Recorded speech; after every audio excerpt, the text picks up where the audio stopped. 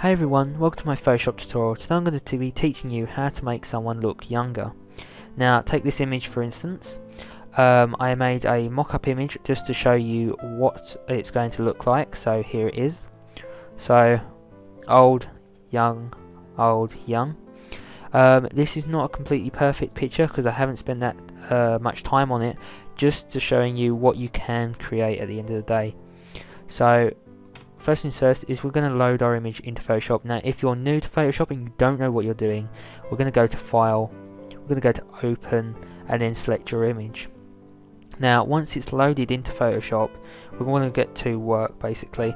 So things uh, we're going to do is double click on that layer to unlock it, like so.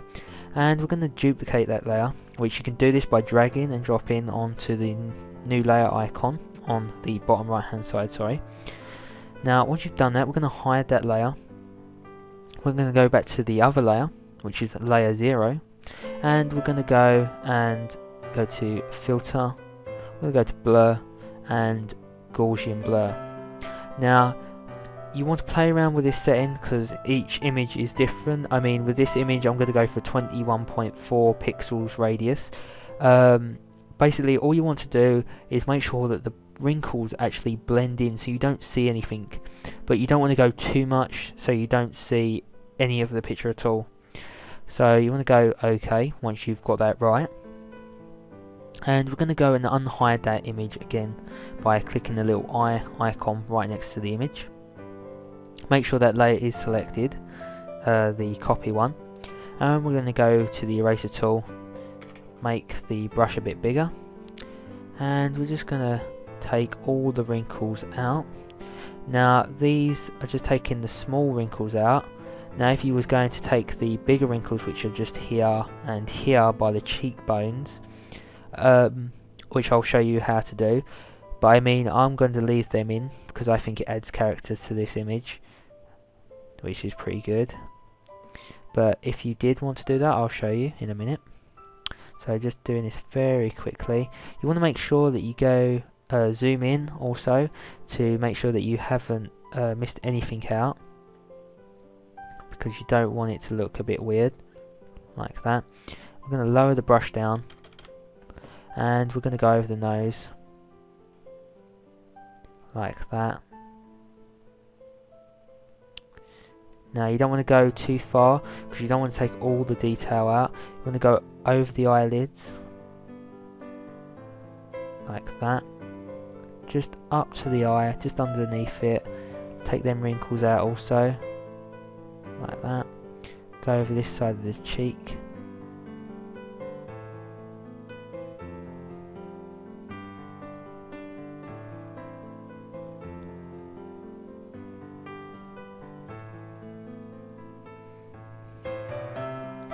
And just above the mouth. Now you want to zoom in on the mouth also zoom in. Now you'll get these just go right near the lips. Not over the lips though because we don't want to uh, blur them out. Because we're going to have to do something with them later. Zoom in.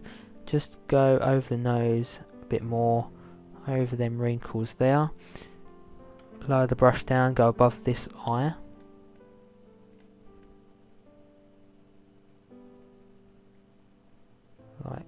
So. Just up here.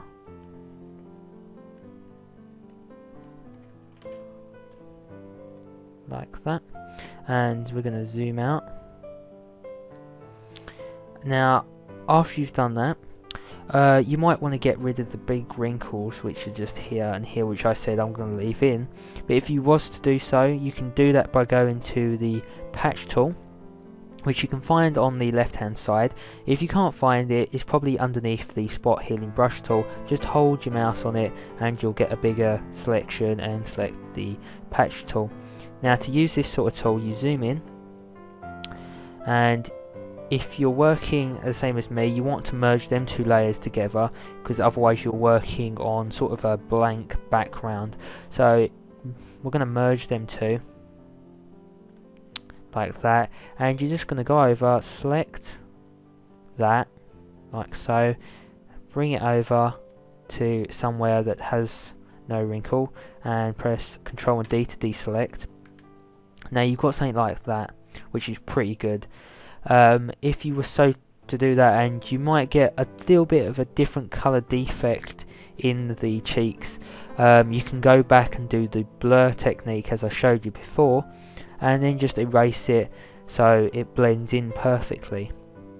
Now I'm going to go back because I don't want to do that. I want to leave them in because I think it looks okay. Now once you've done that, we're going to go in and change the eyes, the eye colour. So we're going to duplicate that layer by dragging and dropping. We're going to go to the pen tool and zoom in on the eyes and we're just going to click to select these eyes just doing this very quickly. Now if you're not too sure on how to do these eye techniques and stuff like this uh, you can refer back to my other tutorials which is shows you all you'll need to know.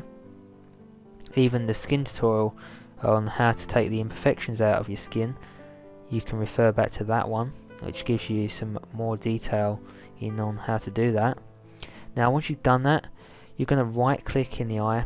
You're going to go to make selection. You want the feather radius to be about 1 click OK. Zoom out again. Now we're going to press and hold control and U. And you're going to get this hue and saturation come up. Now we're going to click colorize.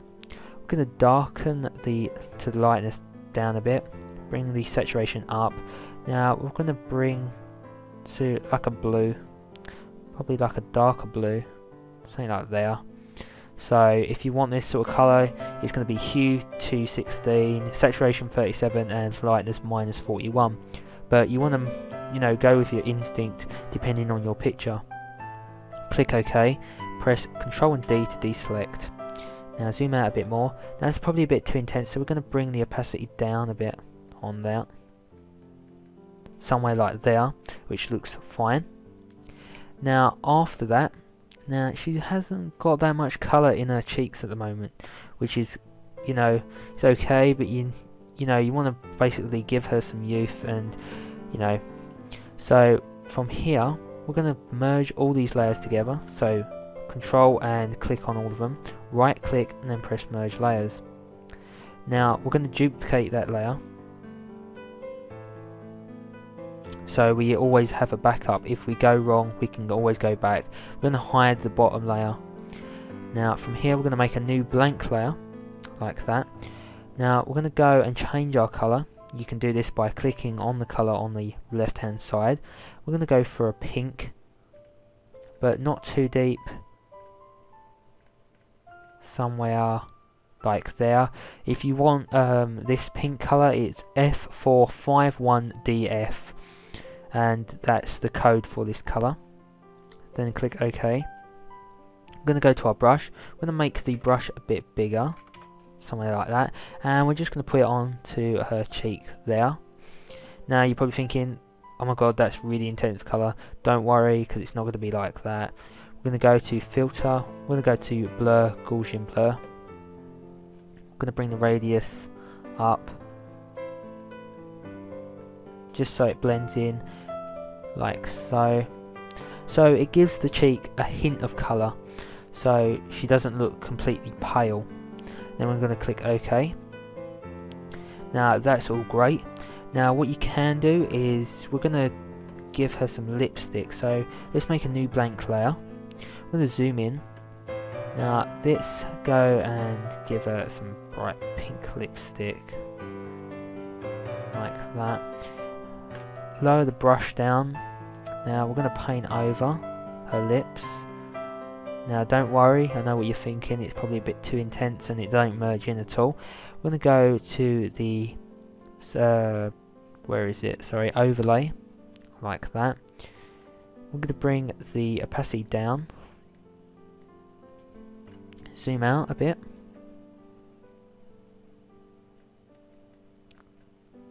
So my opacity is going to be about 17%. We're going to zoom in. We're going to take the eraser tool on there. Make sure you got that selected, that layer. And we're just going to erase around the lips. So any thing that's going over that we don't need at all like so zoom in uh, it's already on the teeth so we're going to lower the brush we're just going to take the pink off the teeth because we don't need that. We want the original colour to show through. And zoom out. Now if that's still too bright for you you can bring the opacity down. Or do what you want like that. And basically that's uh, the principle of making someone younger. Now yours is going to uh, be a lot better. You can spend a lot more time on it uh, you know uh, make it your own really you know add different effects.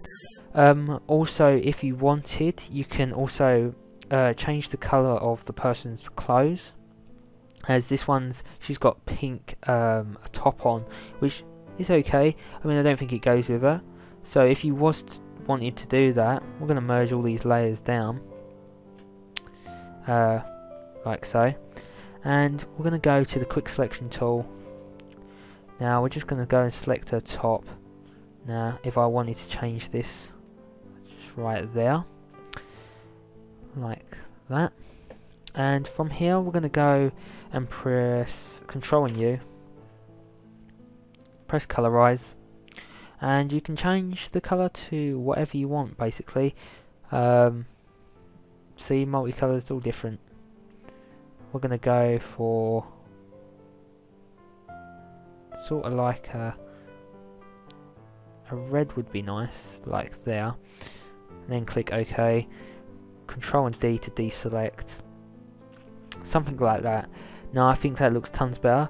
Obviously it's not um, perfect but you're going to have a lot more time as I said. Um, so I hope you like this tutorial and please comment rate and subscribe. And uh, I'll see you next time. Bye for now